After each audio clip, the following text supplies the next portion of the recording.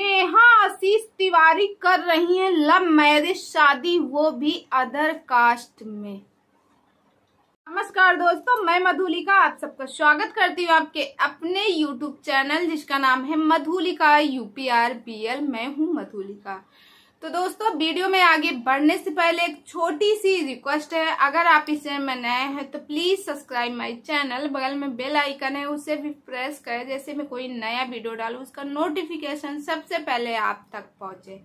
और दोस्तों चलिए आते हैं मेन मुद्दे पर। दोस्तों, जैसे कि आपको मालूम है, नेहा आशीष तिवारी की शादी हो रही, यानी नेहा जी की शादी हो रही। आशीष जी उनके पहले पति का नाम था, जो अब भी वो लगाती है, नेहा आशीष तिवारी।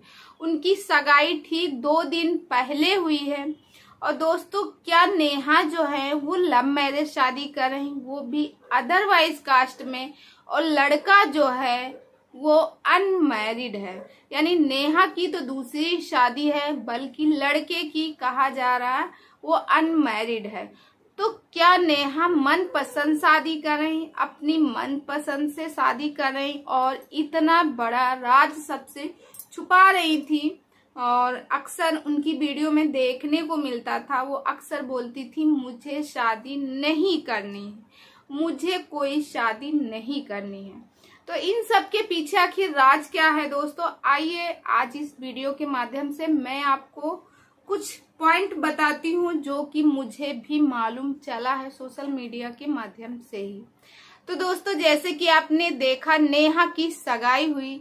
सगाई में नेहा ने आशीष के मम्मी पापा को भी बुलाया है और जो नेहा की बेटी थी, यानी तासी जो है, वो अपनी दादी और दादाजी से लगभग तीन चार साल बाद, चार पाँच साल बाद मिली, क्योंकि जब आशीष जी थे, तभी वो अपने दादाजी से मिली थी। जब से उसके पिता इस दुनिया से गए, उसके बाद नेहा अपने मायके में रहने लगी और जो तासी है, अपनी दादा और दादी से नहीं मिली थी। तो दोस्तों, यहाँ पे उनके दादा और दादी को भी बुलाया गया था और यहाँ पे मतलब बहुत ही धूमधाम से किया गया। बल्कि नेहा कह रही थी कि मैं तो चाहती हूँ सिंपल तरीके से हो, मगर सामने वालों की भी इच्छा का मान सम्मान करना पड़ता, क्योंकि नेहा की तो सेकंड मैरिज है, मगर जिस लड़के से नेहा शादी कर रहे हैं उसकी फ़र्स्ट मैरिज वो उसकी शादी नहीं हुई है। तो दोस्तों, उस लड़के का नाम भी क्या है? आप लोगों को तो पता ही है। उसका नाम सुमित महल है। सुमित महल।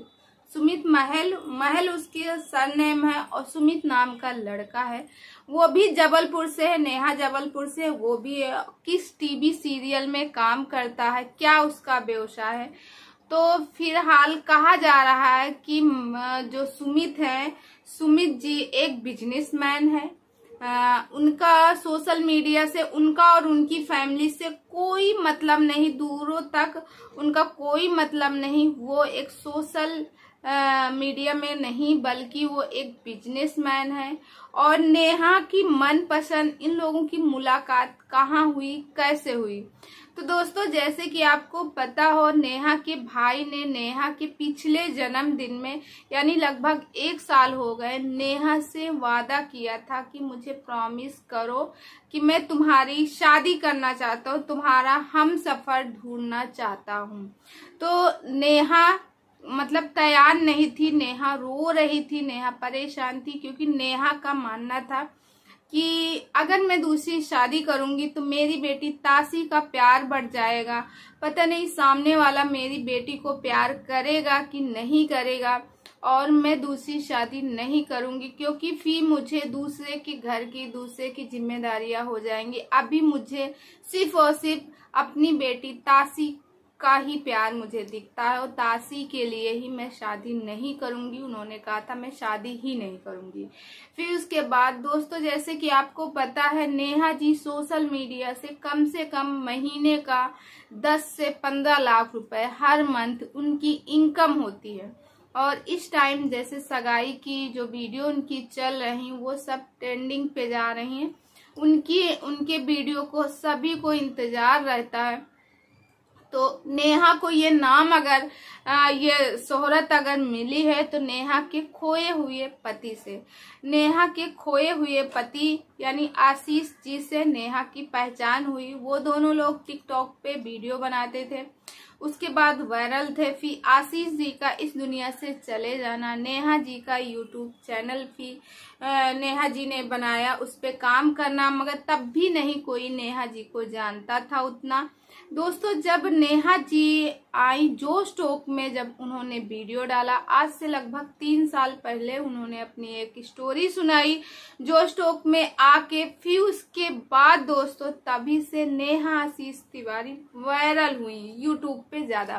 क्योंकि टिकटॉक पे तो वो वायरल थी ही, मगर उनको कोई यूट्यूब पे उतना नहीं जानता था। मैं अपनी पर्सनली बात कर रही हूँ, मैं भी नहीं जानती थी उनको। फिर उसके बाद दोस्तों सभी लोग नेहा आशीष तिवारी को जानने लगे।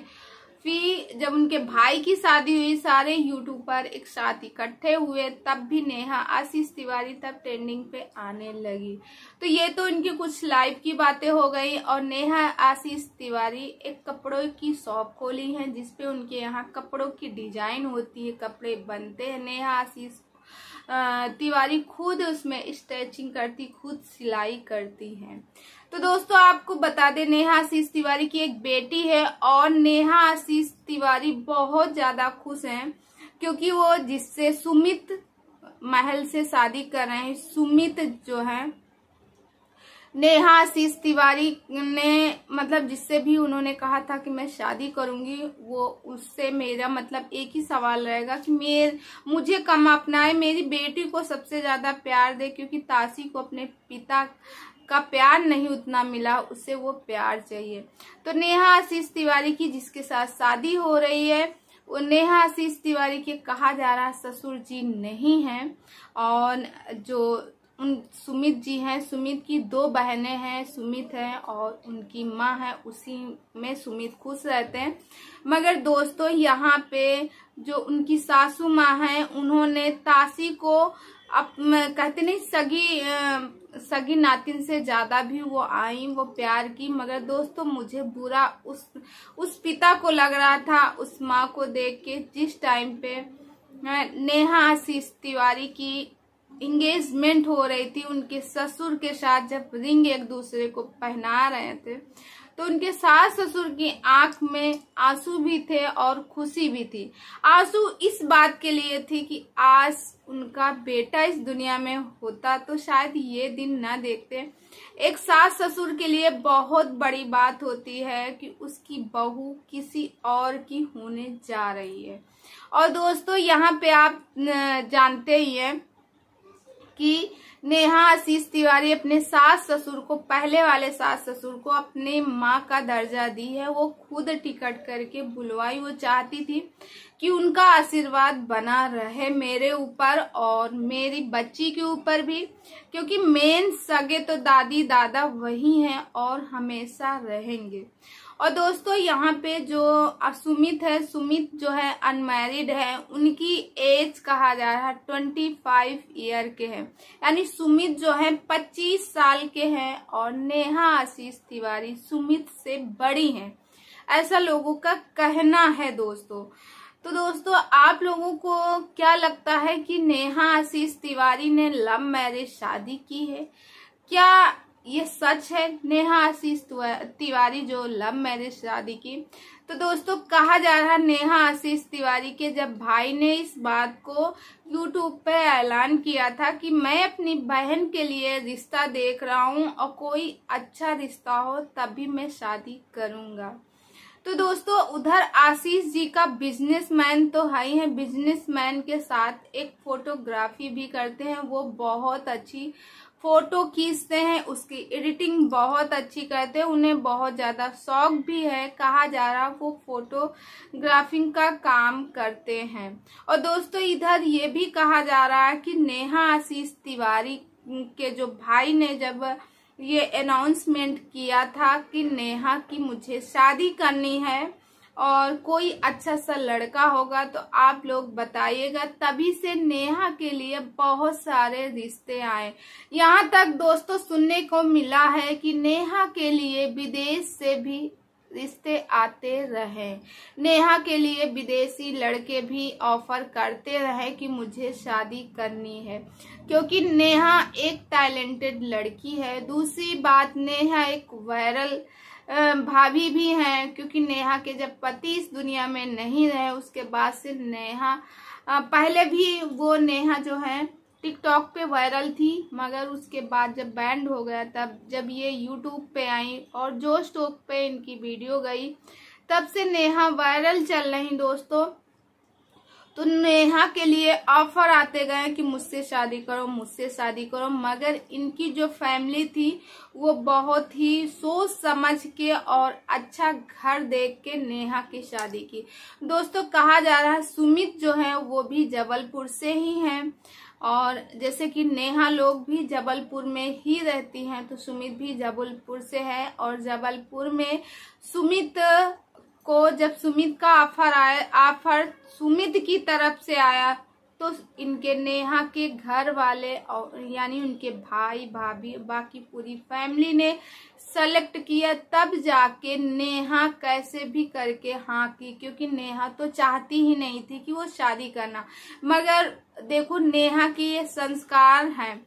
जो लोग कहते हैं, नेहा लव मैरिज शादी कर रहे तो जी नहीं, नेहा लव मैरिज शादी नहीं कर रहे नेहा की फैमिली ने सेलेक्ट किया, उसके भाई सेलेक्ट किए, तब नेहा ने हाँ किया शादी के लिए। और दोस्तों, नेहा की फैमिली इतनी अच्छी है कहा जाता है, जिस लड़की के पति इस दुनिया में नहीं रहते उसे मायके में भी पराया कर दिया जाता। बहुत कम ऐसे घर होते हैं जो मायके में अपनी बेटी को रखते हैं और स्वीकार करते हैं।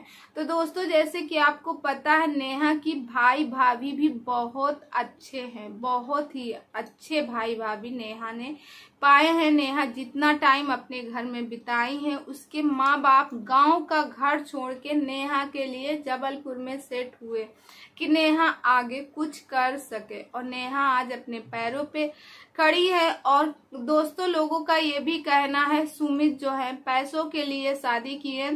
तो यहाँ एक बात एकदम क्लियर हो गई कि नेहा ने आशीष वो सॉरी सुमित जो है, पैसों के लिए शादी नहीं की है। वो खुद एक बिजनेसमैन है, वो अच्छा खासा कमाते हैं।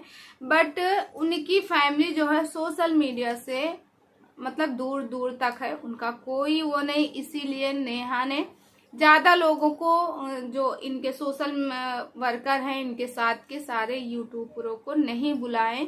लोगों का कहना है जब नेहा छोटा सा छोटा इनके यहाँ कोई कार्यक्रम होता था तो सभी यूट्यूब पर जाते थे बल्कि इस बार नेहा ने नहीं बुलाया। तो दोस्तों यहाँ जो आ, सुमित जी के यानी कि जो सुमित है, सुमित की तरफ़ से जो फैमिली थी, उनको ज़्यादा ये सब पसंद नहीं था। वो देखते हुए नेहा ने ज़्यादा किसी को नहीं बुलाया। तो दोस्तों, नेहा, आशीष, तिवारी और सुमित जी की जोड़ी कैसे लगी? और दोस्तों, लोगों के ये भी कमेंट है। मैंने कमेंट सेक्शन में जाके कमेंट पढ़े। नेहा से रिक्वेस्ट किया जा रहा है कि आप आशीष जी का नाम कभी मत हटाना, ना तो यूट्यूब से और ना ही इंस्टाग्राम से। क्योंकि आशीष से ही आपको ये फेम मिला, आशीष से ही आज सारी दुनिया आपको जानती है। तो दोस्तों, ये बात एकदम क्लियर हो गई कि नेहा के घर वालों ने ही सेलेक्ट किया, बल्कि नेहा कोई लव मैरिज शादी नहीं कर रही। तो दोस्तों, इस वीडियो को यहीं करते हैं। देन और कल मिलते हैं एक अच्छे से वीडियो में। और दोस्तों, आप लोगों से एक छोटी सी रिक्वेस्ट है।